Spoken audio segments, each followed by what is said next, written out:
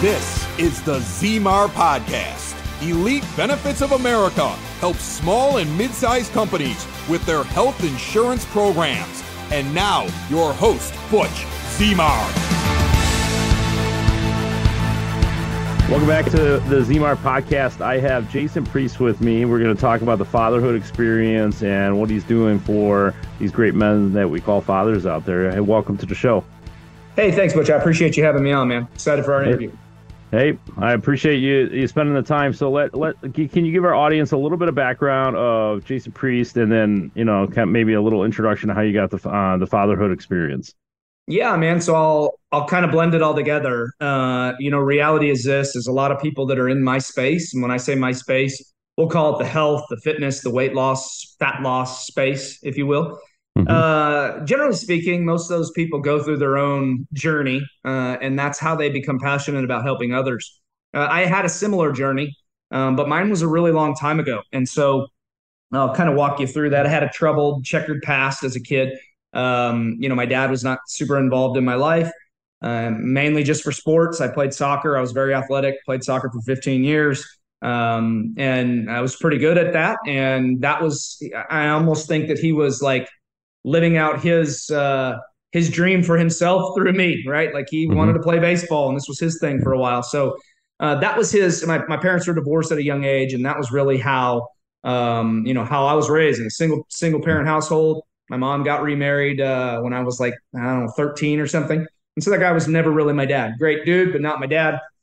And so I didn't really have a, a, a true father figure growing up uh, kind of figured life out on my own. Went through a really dark path, right? Um, started, uh, got mixed up with the wrong crowd. Uh, I was one of the wrong crowd, I guess. Uh, nobody ever claims that they were part of the wrong crowd. I own that. I own all of my uh, my, my shortcomings. Uh, got into drugs and really went down a dark path, and decided that I needed to get out of that dark path. very quickly because I I, I was smart enough to know that I was headed in, in, in the wrong direction. So I decided to, uh, to to randomly, and when I say random, I was going to community college. I heard a couple of dudes talking about nursing school. One of them was an ENT, an EMT already, and one of them I forget what he did.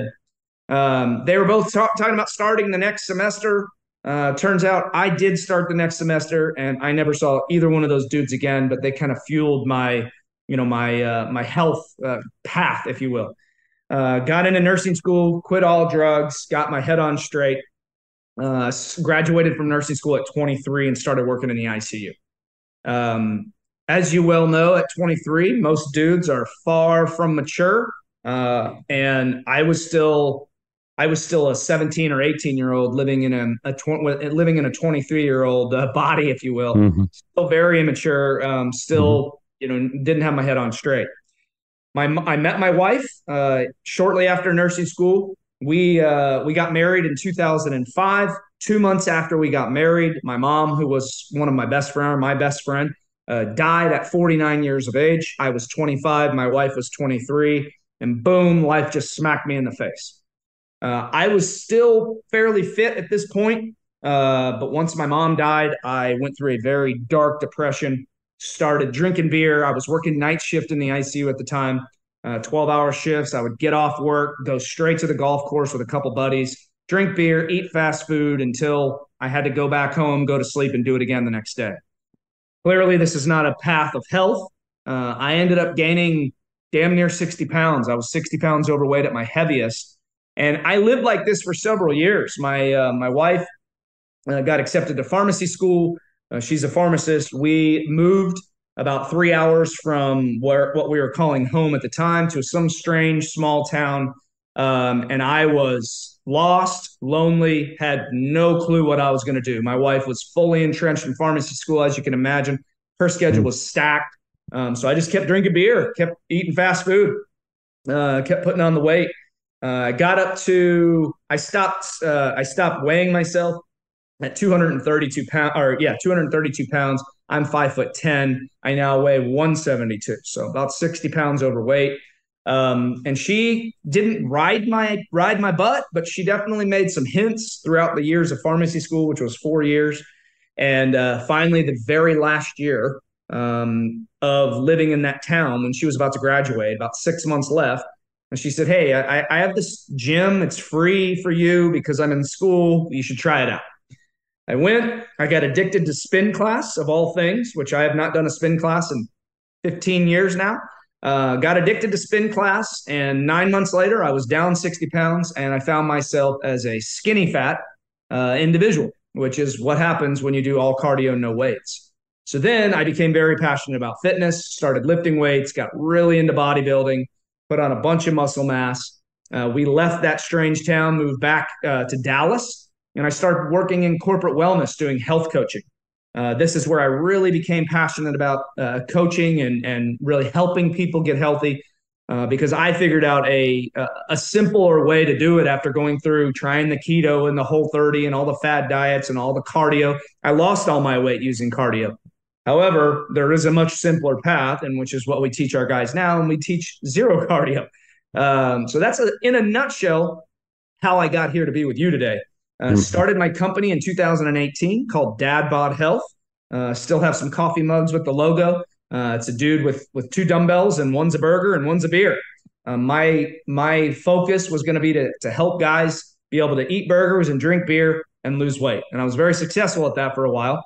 And then I met my business partner uh, in 2020, shortly after COVID.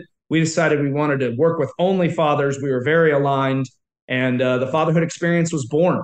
Um, and that's that's a, a, a little bit about my journey and, and how I got to be here with you. So.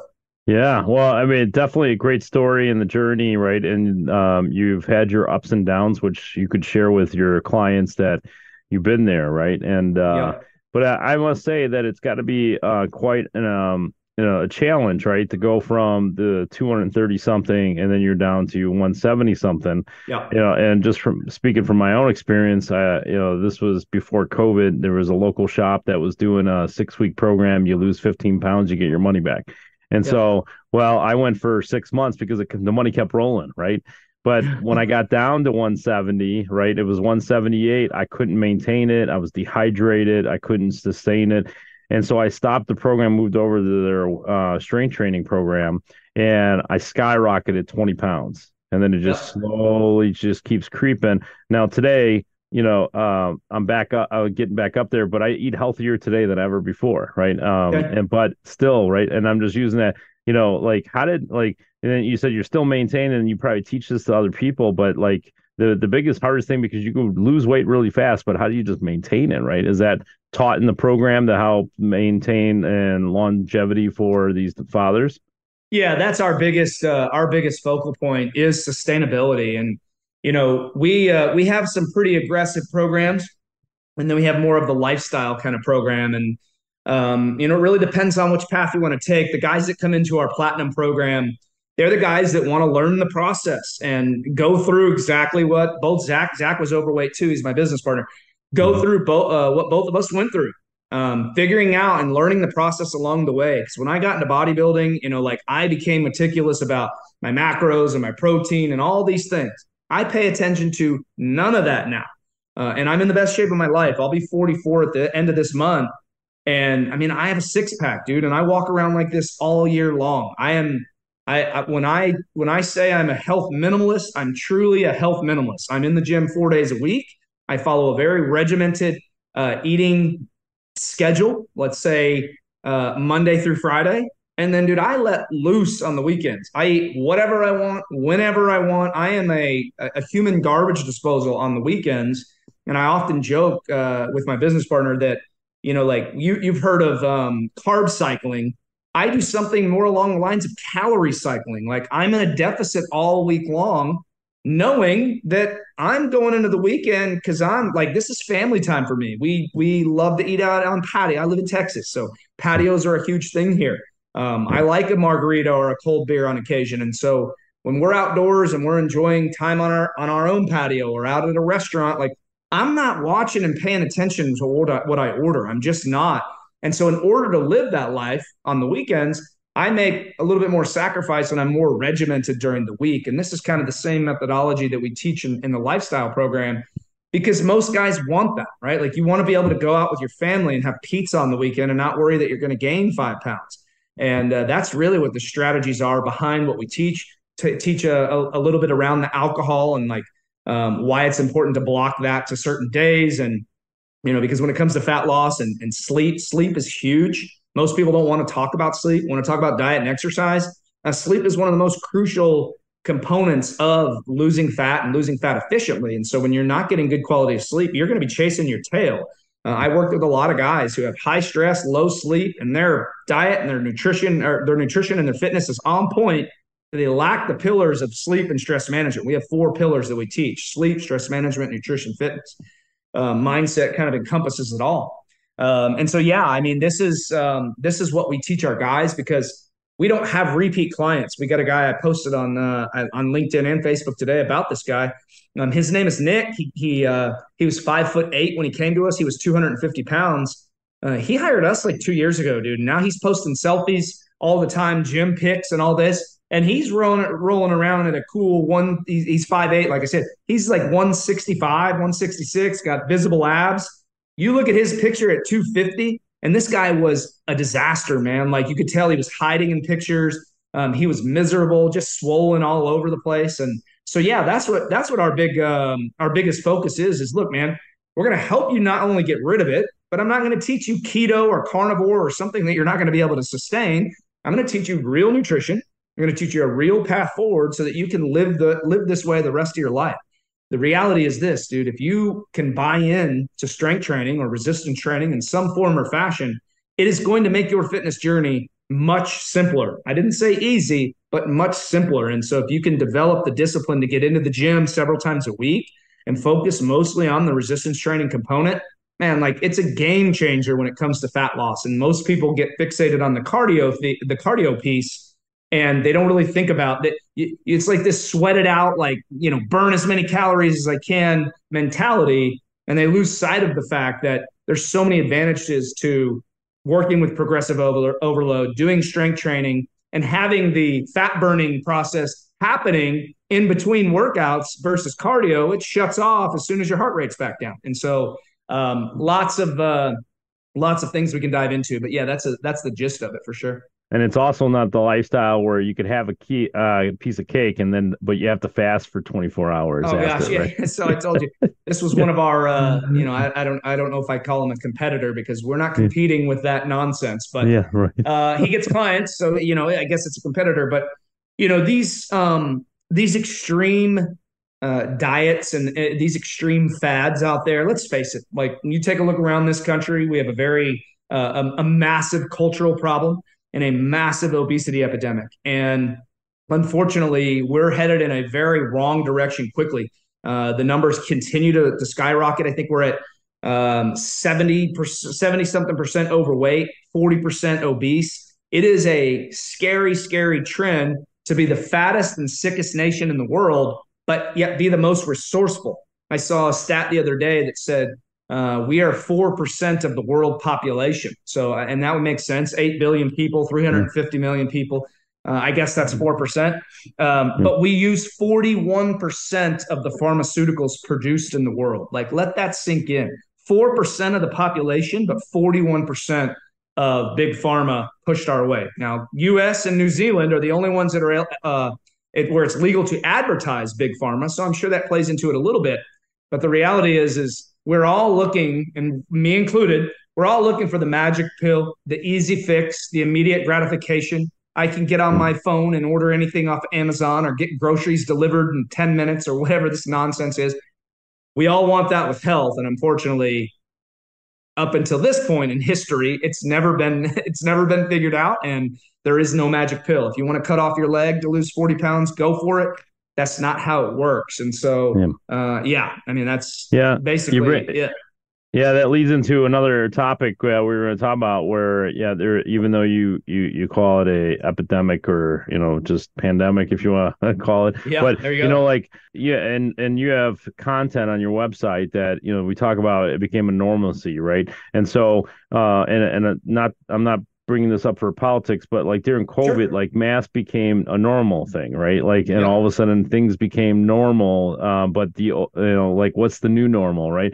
Well, and I guess when it comes to health, you know, the it's interesting because you could sit there at a grocery store or a mall and watch people walk by, and the normal is not the normal. There was the the meme that was going around, I know on Facebook for a while, where they had two pictures and they had one of these guys, uh, like downtown Chicago in suits, um, super thin. You could see their their the the the curvature of the neck, you know, like healthy people. Yeah. And then they had this other picture where people were big necks, big shirts, big everything, and like what happened between the last, you know, what 50, 60, 70 years, yeah. right? So a lot has changed, but I think like your your content as Sharon, this is probably what you have in your program where it, it's it's normal, right? Like if you hung around with all your normal people um you know if they're all healthy you'd be a natural tendency to gravitate that way and i think yeah. you i don't know if we were recording yet but you know you said you become the average of the group that you hang out with right yeah and yeah so, you know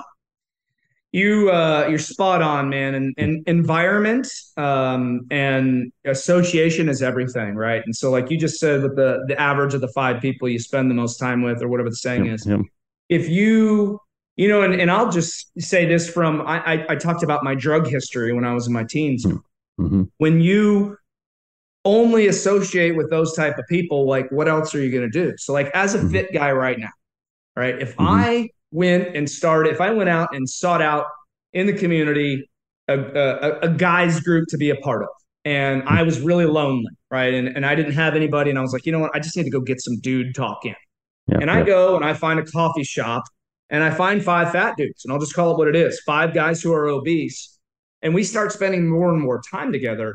Well, like generally speaking, I'm gonna let I'm gonna start to let my foot off the gas. I'm gonna start doing more things that they're doing.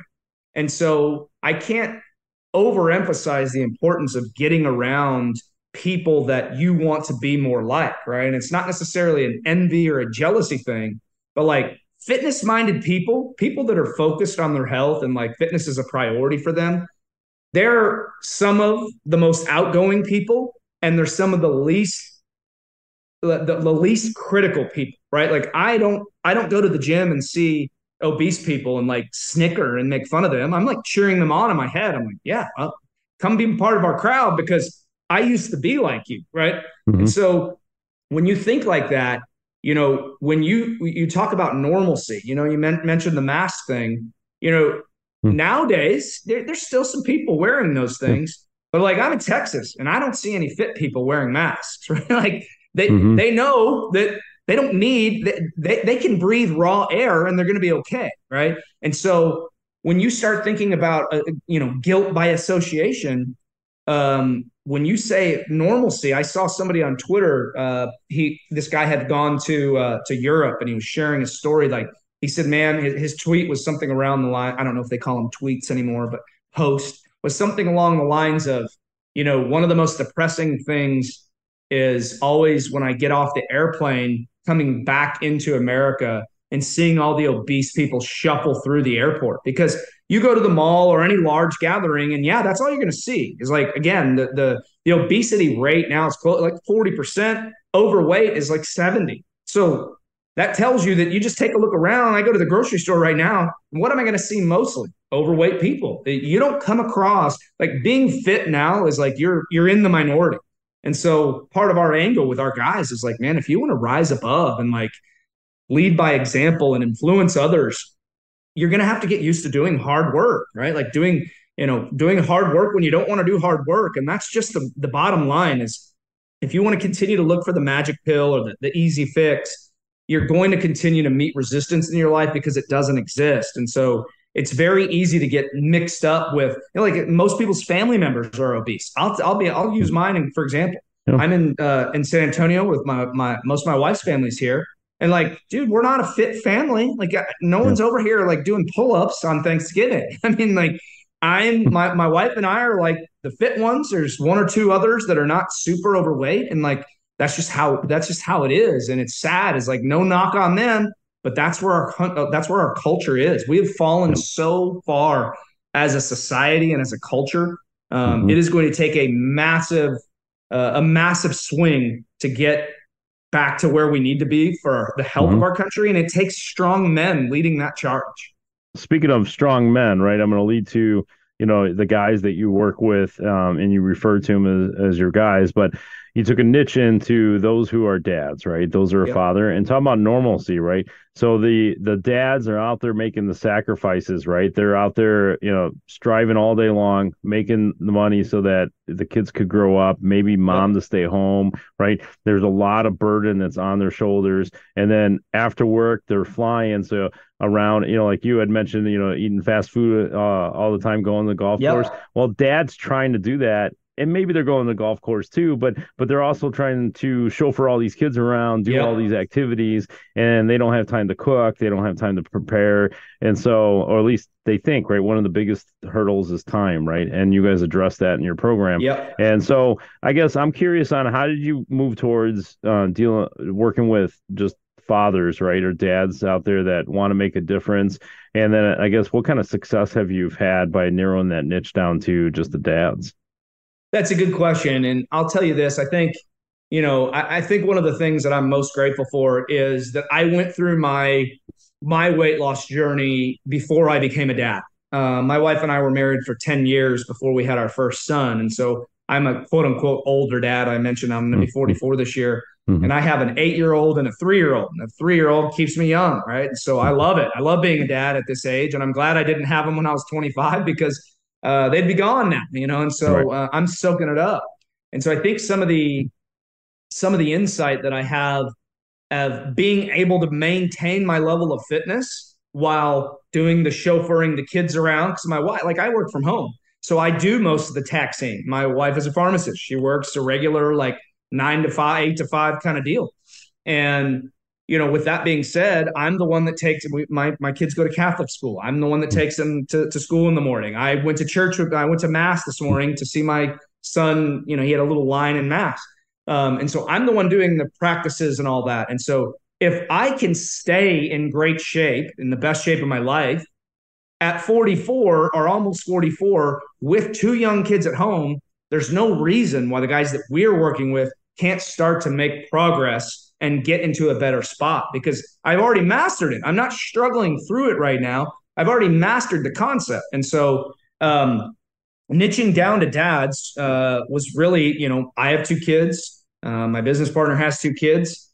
Dads are who we relate most with, right? Like I, I've worked with women in the past, and uh, they're just a different animal. Uh, I want to go back to something that you said um, about you know the, the the women, you know, the dad going off to work and the woman being at home. That's another massive cultural issue that we have is that more and more women are in the workplace, and so you don't have that. You know, you, you don't have that nuclear family that you once had, and that's why we're seeing a lot of the problems. Um, childhood obesity is on the rise because if parents are fat, kids are going to be fat and that's just the way that it goes. That's normalcy. so, yeah there's your normalcy right? And so right. you know it, it's um rarely do you see a, a, fit family with one fat kid right? Mm-hmm. it's it, it doesn't I, have seen it like once or twice uh, since we moved here and it's just not that common. And, and that kid might have other challenges you know might be a, a video game addict and the kid parent you know i don't know. There's a lot of factors that come into play there. Sure. but with that said uh, the success that we have is really you know i think I think from our standpoint, like we we changed the structure of our programs. Uh, you know, I, I don't know, six months ago or so, and it's just been a a massive help to our guys because now we, we, used to run mostly just a group program. And now we're we're running small. And when I say group there'd be like 30 or 40 guys on our, our calls. And now we'll we do we take no more than five in a group. And we me and Zach personally meet with them every single week. So it's a Zoom call with three to five dudes, and we're getting deep, you know, and they build that bond with each other, but they see that we're going through it and we're in the trenches with them. If they if they're at the gym and they post a picture or something like that, Zach and I are doing the same thing in our little messenger pod, right? Like we create a little messenger chat. We're all in there together. So if they have questions or problems that come up during the week before their call, they can get a hold of us. Um, you know, it, but we're seeing them face to face every week. And so that level of accountability also keeps us accountable. I'm not going to let my foot off the gas and skip the gym for two weeks, which would never happen. But I'm not going to do that knowing that I've got guys that are looking at me as leadership to say, hey, man, like I'm here at the gym and it sucks. I don't love it every time I'm here, but I'm still here. Like when we get off this call today, I'm going to the gym to do legs. does anybody get super? I guess there's a few a few select individuals who get excited about legs, but like going and putting weight on your back and doing squats, heavy squats, is you're choosing discomfort.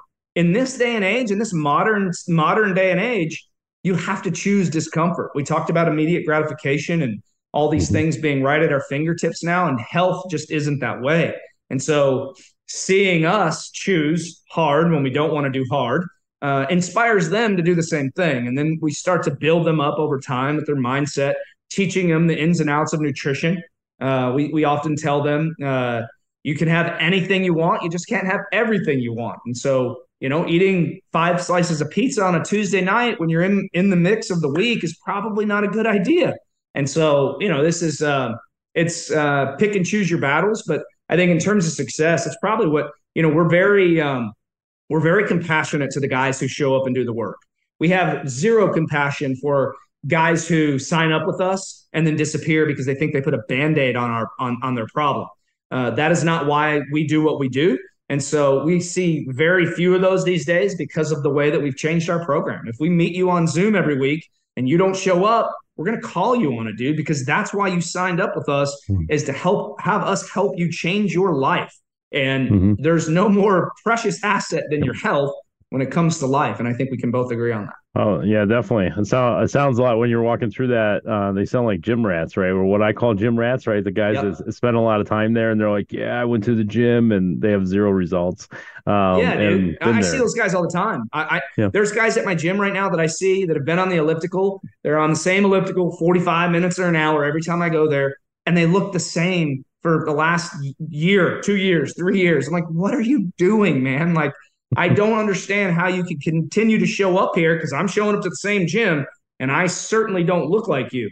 My workouts are no more than 30 minutes. I am in the gym four times a week for 25 to 30 minutes each time. And that is it. All I do is weights. My cardio is walking my little crazy little Boston Terrier five times a week for 15 minutes in the morning because he pesters me unless he gets his walk right? And that is it. It's built into my lifestyle. I don't go out of my way to do cardio because I don't need the cardio. And so I think um, you know there's there's a there's so many ways to skin a cat, but like when you're looking for simplicity, um, I always say that the, you know the short the only shortcut in life is finding someone who's done it already and learning from their their experience, and that's business coaching, that's health coaching and fitness coaching, that's mindset coaching, whatever. All you're doing is leveraging the tools of somebody who's done it and been through the trenches and put in the work so that you can mm-hmm. hopefully learn from their mistakes and shortcut your process, which is, you know, what we're trying to do.